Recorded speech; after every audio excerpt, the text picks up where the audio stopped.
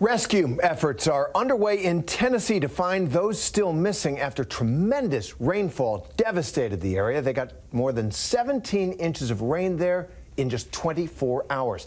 This is a new study shows that the record rainfall across Germany and Belgium last month, you may remember those pictures, that was made up to nine times more likely by the climate crisis. Meanwhile, other end of the spectrum, more than 90 massive uncontained wildfires are blazing in the West.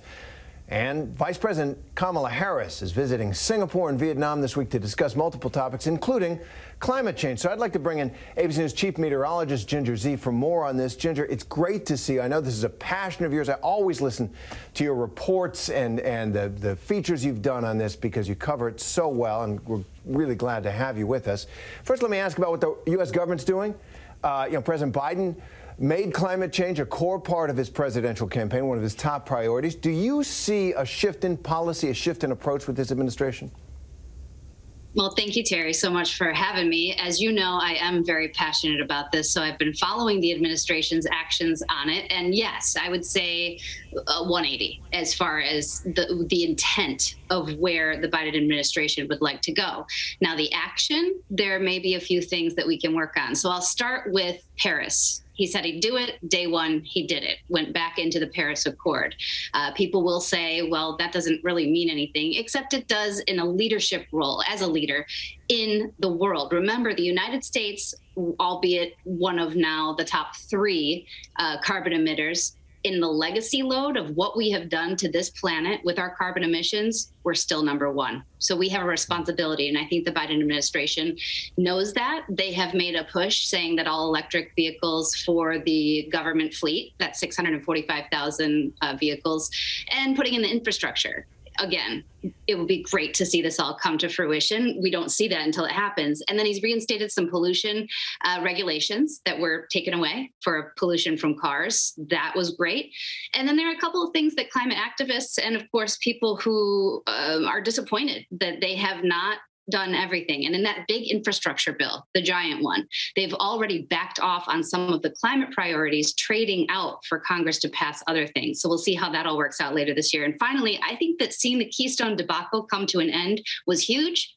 But we have to remember there's still the Line 3 pipeline, Minnesota, where the tribal communities and a lot of the activists there are saying, hey, nobody's listening to us. We've got a big pipeline issue right here that's impacting us. And no, so far they're very frustrated because the Biden administration has not taken action there. Well, Ginger, there are unfortunately so many areas to get to when it comes to climate change. This is why we have you. One of the most staggering international examples you have explained to us the Maldives, which could become uninhabitable by 2050.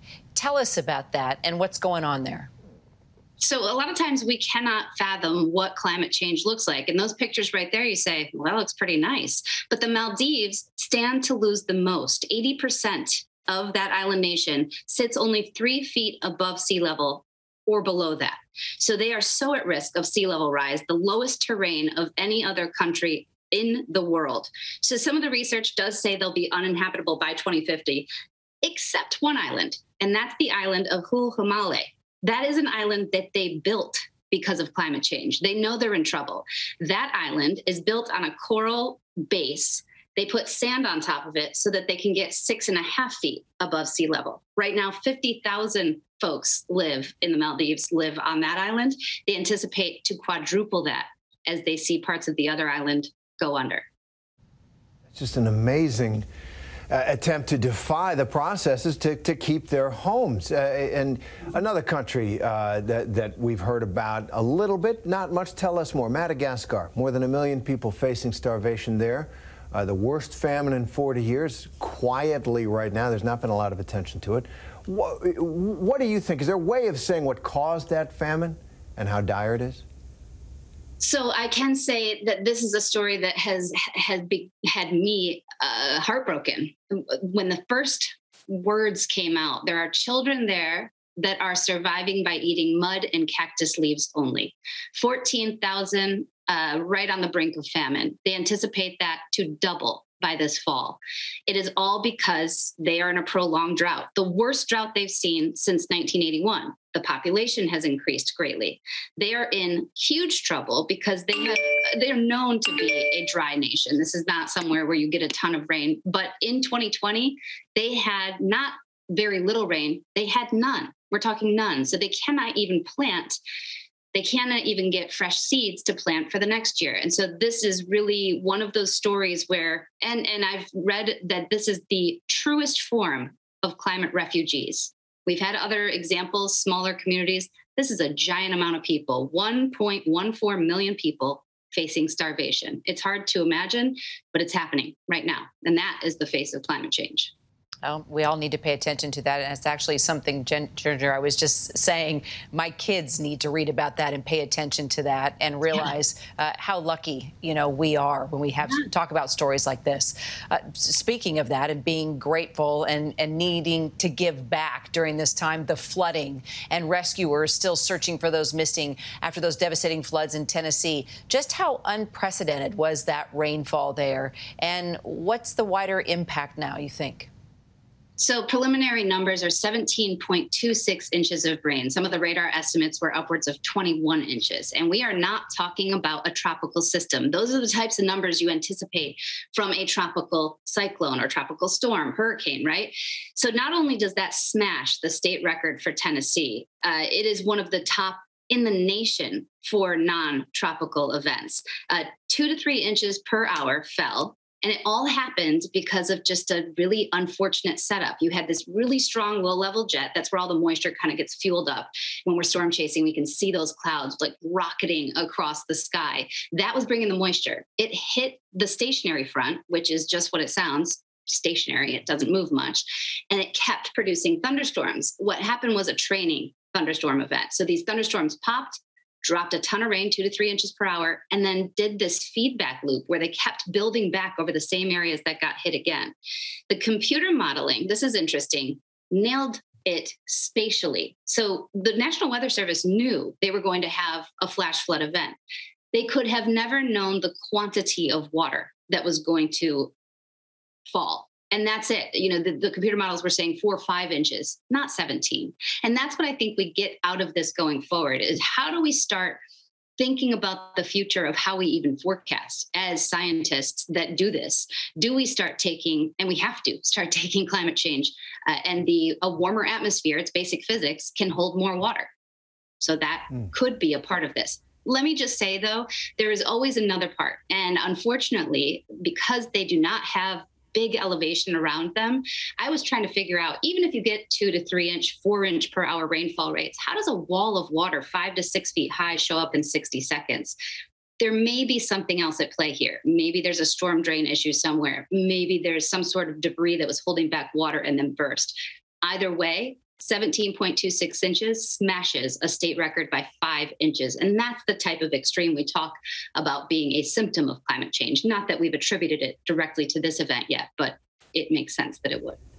I mean, it's, it's wild. It's wild to think of that. And, and uh, we got you here. We're going to take you on a tour of some of these recent stories and get your sense from your studies of climate change on, on the potential contribution that it might have made. We all remember those pictures uh, you were reporting on out of Western Europe, including Germany, when they received up to two months worth of rainfall in two days. Another event like that uh, Van Alstreechers say that the rainfall was made up to nine times more likely by the climate cr crisis. Now, that's a, a modeling of it. So, what does the situation there mean for the future when it comes to rainfall and deadly floods? And, and are you confident in that science that can say, oh, climate change made this nine times more likely?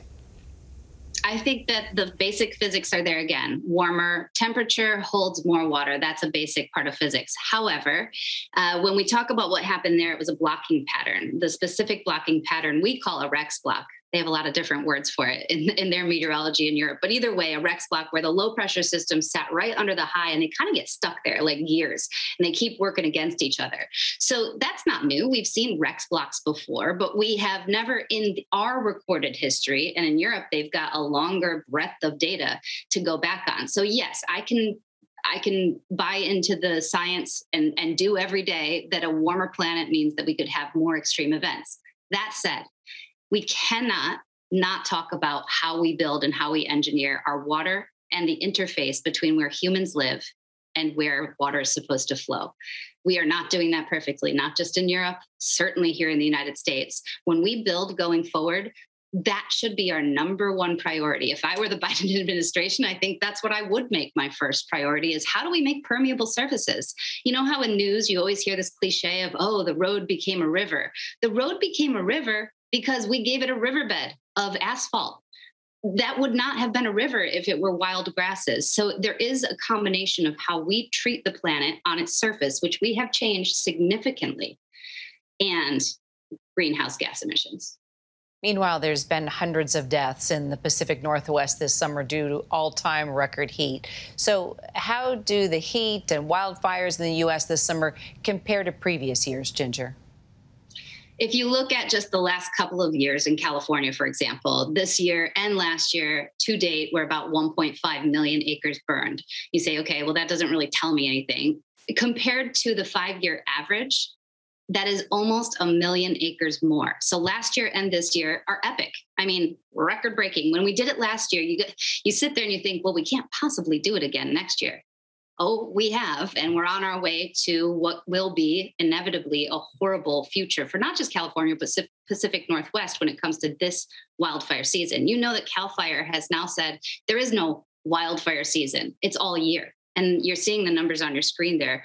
Um, they're really stunning. And of course, how do we get there? Drought, prolonged drought. When you bake the soil, when you bake the foliage, you are going to end up creating this tinder situation. Land management has a ton to do with it. People are always going to bring that up. But so does all time heat. And that's what we saw this year. Hundreds of people dead from Canada through the Pacific Northwest because not only all time record heat of 116, but for three days in a row, Portland broke their all time record. Lytton, British Columbia, 121 degrees. Y'all, just to remind you, Las Vegas has never made it above 117. So when you have that strong of a ridge that we have never seen in our recorded history, and you bake the area for three days, you give them no relief at night, which they usually would see, especially in the Cascades, you are going to have deaths and you're going to have the setup, the perfect setup for a horrible fire season. Hmm. And and lastly, we just saw it there on the screen. You mentioned the two largest reservoirs in the country, both reaching their lowest levels on record. And in all this, now we've taken this tour of the world with you. You hear uh, people say, uh, you know, climate's always changing. I was talking to a dairy farmer in uh, in yeah. Wisconsin not long ago, and he said, "Yeah, it's it's bad, Ray, but I, I, you know we got a lot of rain. He's getting washed out in places, and his uh, his manure." Uh, you know, pile is, is, is getting uh, watched by local environmental authorities. But he says, I've been a dairy farmer for 40 years. Climate's always been, you know, something every farmer has to deal with. How do you answer that in, in a way that can that can communicate to people that it's different? This is different. He's right. Climate is always changing. The Arctic did have palm trees. That's the how our planet works. We go in cycles. What makes this different and how we know this is different is because of paleoclimatology. We can look back thousands of years. I am in conversation right now with some uh, university workers in Montana that take cores out of lakes all the way down into ice cores or just lake beds, and they can tell for hundreds and thousands of years based on ash how bad wildfire seasons were, how bad the heat was. They can do these things way back then. And you say, okay, but we always had these cycles. We did, but never did we see this rate of change this quickly before in any of that paleoclimatology. And that's the answer. The rapid rate of change, there is only one thing that that can be attributed to. It's us. People will say, yeah, but what about the sun? What about volcanoes? There are a lot of other things that impact this, and they're right too just not nearly as much. When you look at the graphic that compares all those things, there are two lines going up, and it's greenhouse gas emissions from humans, and then it's the temperature. And those two are hanging out together. I will mention one other thing because a lot of people need this information and i think it's really hard to hear uh, when you look at someone like lake mead arizona this year first time federal government's going to have a water shortage arizona's going to get 18% less water from the colorado river basin we're going to see 7% less for Nevada, 5% less for Mexico, a place that I just was doing that story where I was sitting next to this 19th century church that had been covered with water because they created a dam and then was unearthed basically uh, or unwatered uh, when this mega drought has set up in that part of Mexico. We have to think about not only the droughts and the, the impact of our greenhouse gas emissions, but it's our water usage. This is the easy one. This is the one that nobody can fight, nobody can deny, and has a lot to do with why Lake Mead, Lake Powell, all of these are also at lowest. We're using the water and not just agriculture, not just residential, all over. You think about how much evaporates out of each of those reservoirs. You think about the use of them to make the foods that we want. It's going to come down to the engineering because I do believe, and this is why I have a whole segment every Thursday night right here on ABC News Live called It's Not Too Late. I don't think it's too late. I think we have choices. You see me there uh, on It's Not Too Late in Lake Powell. That arch used to be covered by water just a couple of years ago. Break in Lake Powell. I go to these places, and most of the time, I think that the innovation and technology that humans are capable of and the human spirit, I don't lose hope uh, most of the time. I feel very hopeful, and I feel like we just got to move. It's time. Oh.